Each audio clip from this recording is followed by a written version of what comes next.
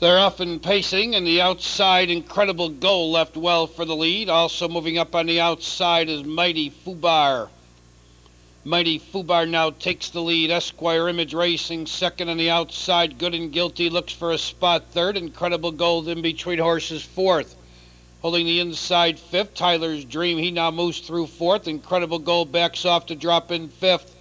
TK Reagan got away sixth and seventh position. Johnny O'Brien Hasty J is eighth. Loghouse trails the quarter, 28 and 4. Through the stretch for the first time, Good and Guilty's worked hard for this lead. He now dives over to the rail a length and a half in front of Mighty Fubaru second. Esquire Image third. Incredible Gold dries from fourth.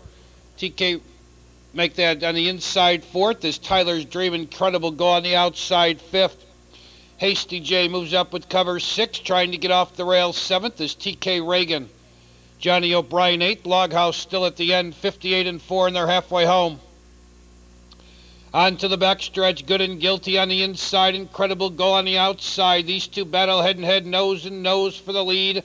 Mighty Fubar wants Racing Room in third on the outside, Hasty J fourth.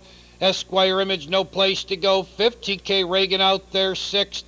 Along the inside, Tyler's Dream seventh, Johnny O'Brien eighth, and Loghouse still can see them all three quarters and 128 and 1. Good and guilty fighting back on the inside. Incredible Gold hanging on the outside. Mighty Fubar wants Racing Room third. Esquire Image, no place to go fourth. From far back, rolling up his loghouse. They're in the lane.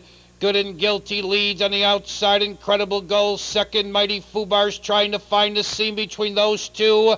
Your leader on the outside. Incredible Gold. Mighty Fubar's trying to get through. Good and guilty with Loghouse coming on. Good and guilty coming back. Very tight. Incredible Gold. Good and guilty. It's tight. Then it's close for third.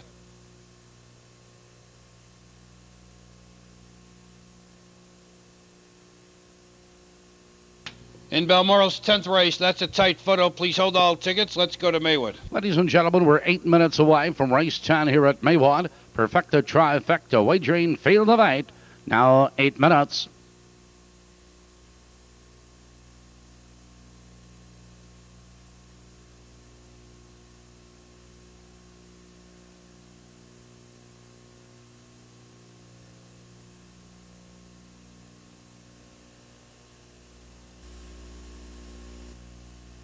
In the photograph, number nine, Good and Guilty is your unofficial winner. Four, Incredible Gold finished second. Five, Mighty Fubar was third.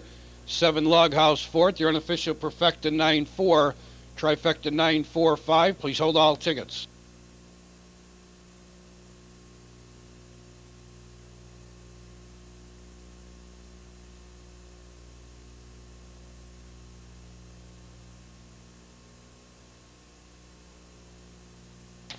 In the winner's circle as the official winner, Nine Good and Guilty, owned by Don Ray and Jack Howell. Chuck Pearson trains. Art Gregory Jr. drives. Good and Guilty scoring his second win in a row at Balmoral Park, and he's a track program selection by Quick Cash Sulky Sam Jr. in Kelly's Corner.